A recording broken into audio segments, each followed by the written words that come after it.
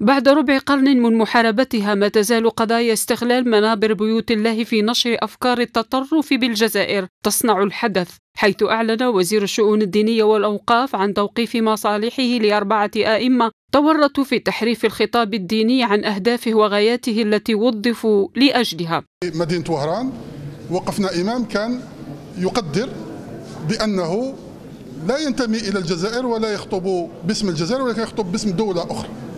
قلنا له روح لدولتك هذه هي التي تعينك إماما.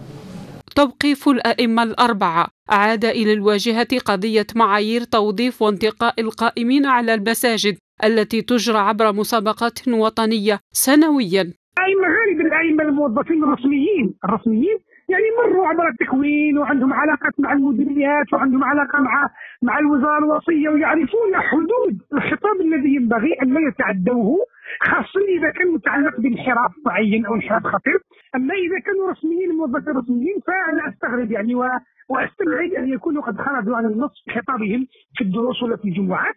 المشكلة أن غالبية الآئمة موظفون من طرف الوزارة وفئة مجهرية من المتطوعين وهو ما يطرح السؤال عن المعني بالإجراء وعن جدوى معاقبة إمام حصل على التأشيرة من معاقبيه اذا كان امام متطوع هنا الأمر هنا يعني المخالفة يعني وقعت يعني كيف لهذا المتطوع ان انه انه يلقي خطابا في المسجد.